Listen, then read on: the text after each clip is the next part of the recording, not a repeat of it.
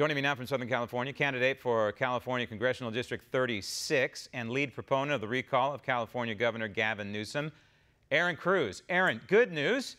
What, you got about 150,000 unofficially well, 150,000 signatures. Is, the report well, isn't in. The uh, counties have until March 6th to, to, give the corrected numbers to the Secretary of State. Julie, can we throw those numbers up there, please? Go ahead, yes. Erin. We will know more at that time exactly what the numbers were. The numbers that you're talking about are from January.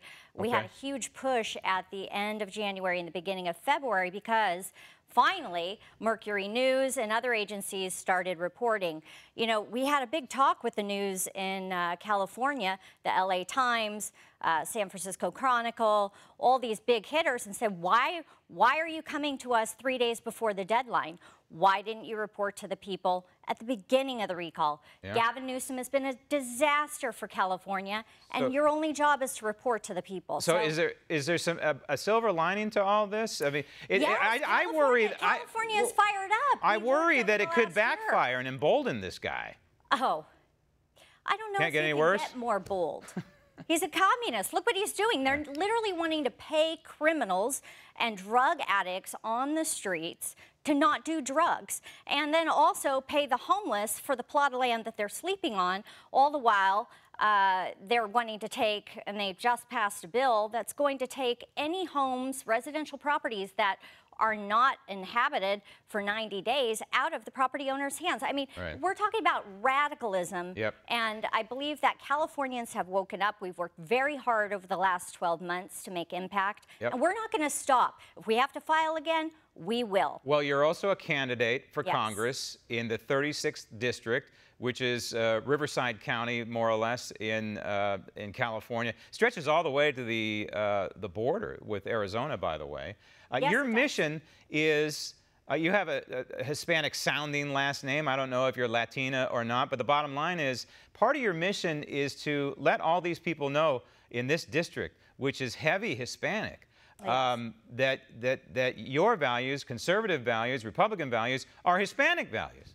Well, absolutely. And here's what it comes down to. We currently also have a radical uh, in Congress representing our district who votes 95 to 98% of the time with Pelosi, Adam Schiff, and Maxine Waters.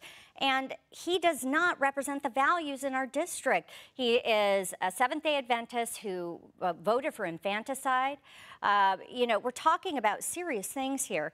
Um, and, you know, the lar largely the district is made up of a lot of working people, retirees, and veterans who are afraid that they may have to leave their state. And I'll tell you what, I'm a person, I'm a regular woman, I'm a mother, I'm a widow.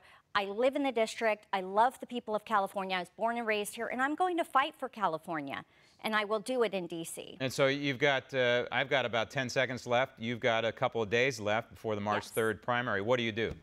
You know, we've just been reaching out to the district, canvassing, uh, a lot of phone calls and, and meeting with the people. You know, their top issues are national security. Their top issues are quality of life issues. And they And the good economy and preserving the pretty good economy, right? I yes, would imagine that's, that's a high priority. Economy is number one. All right. National security and economy. The website is Erin aaroncruz.org this time. Yes. aaroncruz.org for people who want more information.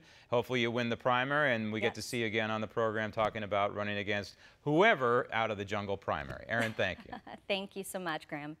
Want to see more videos like this? Click on the link below and subscribe to One America News on YouTube and call your cable provider and kindly demand that One America News is added to your lineup. Call and subscribe today.